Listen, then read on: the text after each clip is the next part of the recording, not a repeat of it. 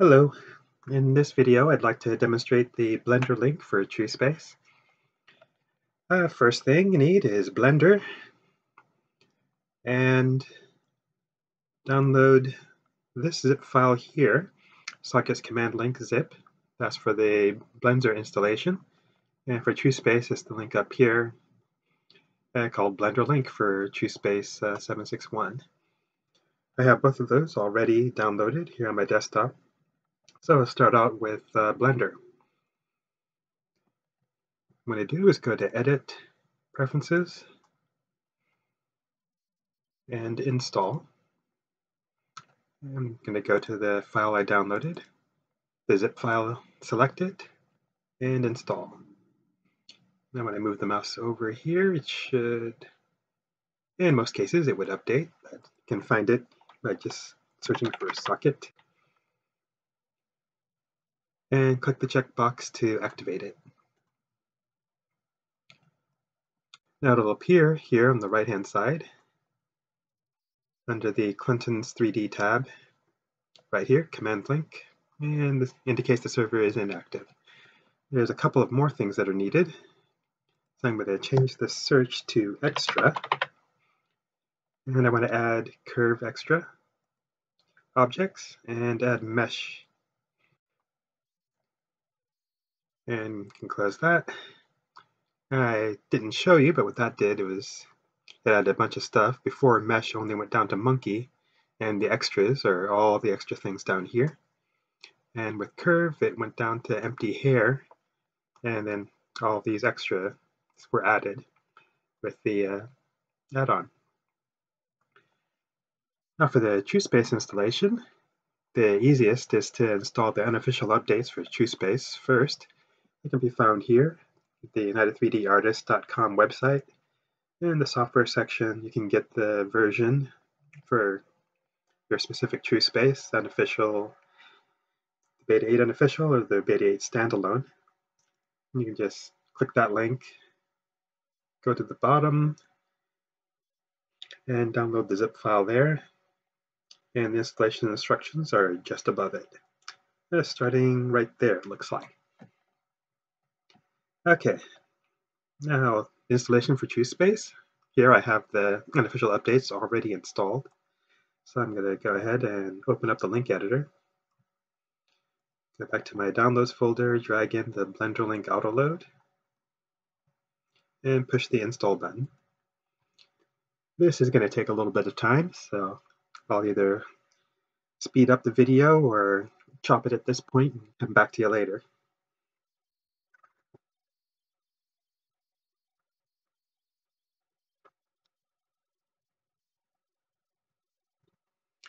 Okay, and it's done. I'm going to go ahead, close the log, and delete the installer. Now I have a new button here, the Blender logo. You press that, you have the Blender link. I'm going to control drag that out of the panel, panel view. I'll move that over there. And I'll go over to Blender. I'm going to press the start button for the command link. And now the server is active. And Blender will receive commands from TrueSpace now. Okay, I'm going to start with the UV, so I'm going to put some kind of a textured material on this so we can see it happening. And maybe add a couple of more objects. Add a torus. That's good enough. I'm going to right click to go into point edit mode, convert that to a ordinary mesh. I'm going to select both objects. And I'm on UV channel 1, which is the default for TrueSpace there. I'm going to push the Smart UV button. And what this will do is generate UVs inside Blender and assign them to TrueSpace objects. So you can see that the texture changed because of the new UV layout. You can take a quick look at that. There's the new torus layout. And there's the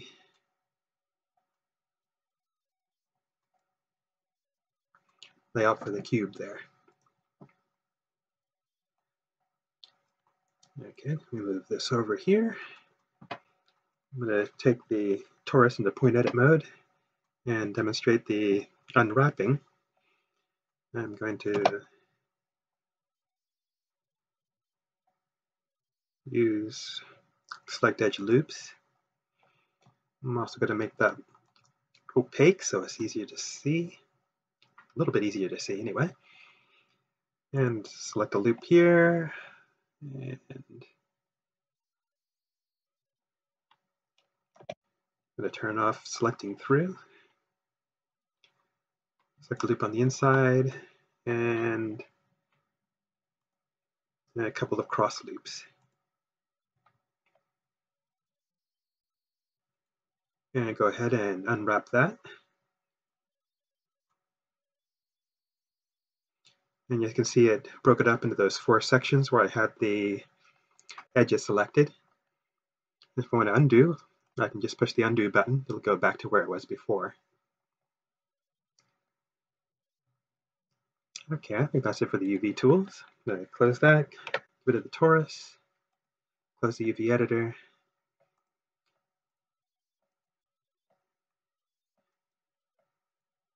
Um, I guess it'd be simpler to show the uh, primitives that can be generated. So I'll start by going to the prims and push monkey. We'll generate a monkey in Blender and put it in TrueSpace. Do the same thing for a icosphere, a rounded cube, and a teapot. And all these objects are generated in Blender and transferred over to TrueSpace. Okay, I'm going to get rid of all those. And I got some curve primitives in the spiral section. Actually, I'll do the NURBS section. Yes. You can create an ellipse. And that is a TrueSpace curve. Now let me change my selection mode. Yes. Those guys. See it's a, it's a curve. You can also create a polygon. You have a three-sided polygon. That's also a curve and a star. Okay, get rid of those. And go to the spirals. These are the last objects that are just generated. So I push spiral, yeah, get a simple spiral. And I can get a different types of spirals. Do a log spiral. And that one, the default values don't work so well for that. I think it needs uh, more turns. And the diff radius about one, I think works well. Let's see what that does. There we go. And there's a log spiral. A sphere.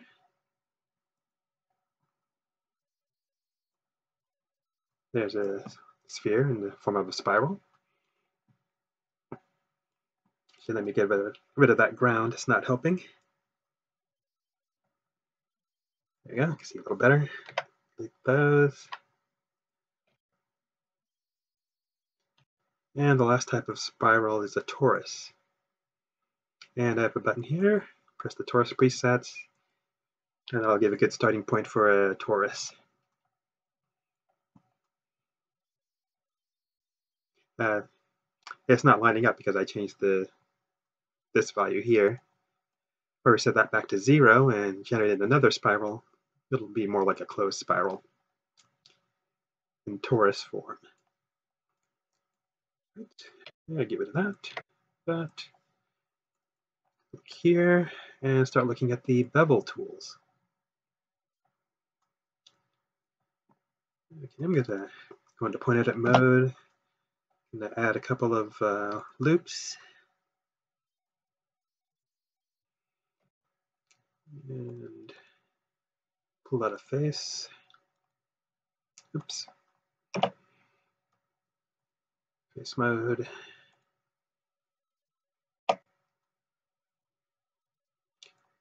And pull that out. Okay. Going to go into edge selection mode and select all these edges here and push the bevel button. Or actually, what I want to do is I'm going to use the offset. What that'll do is give me a kind of a preview of what the final bevel will look like, or the size of it. It'll be a little bit sticky, but you can see the number here has changed. And if I push the bevel button, I get a bevel generated. I can push the undo button to redo the bevel a little differently. I'll add three segments for a smoother bevel. Getting in a little closer there. I'll show the different uh, miter options. I'll undo that. The default is uh,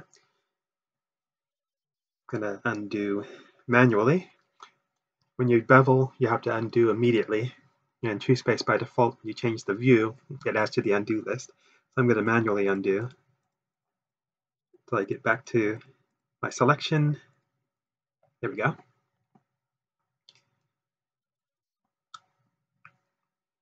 Let's see, let me bevel. Forgot where I was. Okay.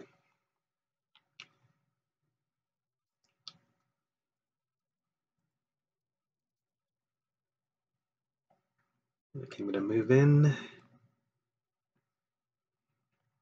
also going to change my settings.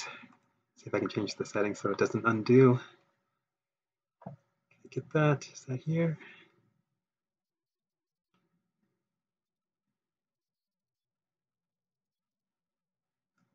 Yeah, don't remember where it is. Oh well. I just have to live with it. Okay, back to bevel. Okay, we have a basic bevel. We have the miter outer, which is sharp. I do this. So you get a sharp line here. I'm going to undo. I change sharp to patch. Then it spreads out the bevel, so it's not this sharp thing. Undo that. And the final version is arc.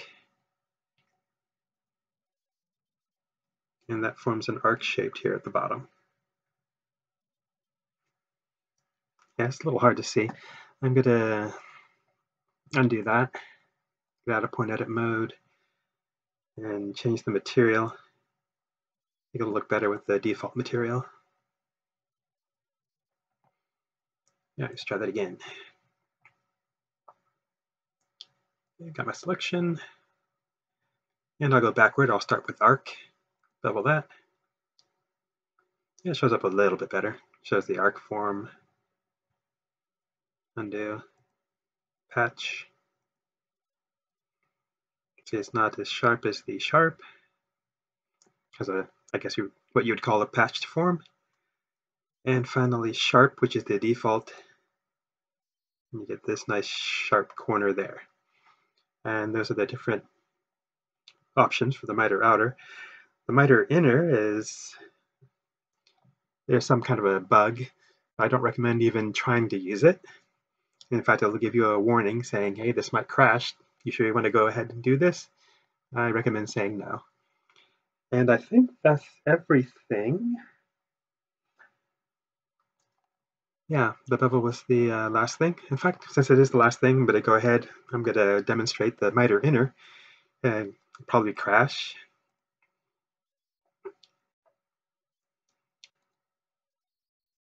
I'm going to make the same selection. Or actually, it's a little bit more stable if I just do the top edges. So I'll go ahead and do those. I'll change the miter inner to arc and bevel. Warning, may crash. And this is what that looks like. It has these like almost kind of parallel lines. I'm going to go ahead and undo I'm going to try again. It may crash at this point. I'm going to increase the spread. See if we can see that effect. Go ahead and bevel. Okay, no crash. And you see here, there's more of a separation in the in the lines that are generated. But that option is very unstable, and there's a good chance it would it would crash TrueSpace, so I don't recommend using it. So uh, that's everything I think I needed to show. Yep, I got the prims, UVs, bev, spiral. Ah, yeah, that's all. And when you're done, you can go ahead, go over to Blender, and you can stop the link. And that's the end of my demonstration. Uh, thanks for watching, and see you in the next video.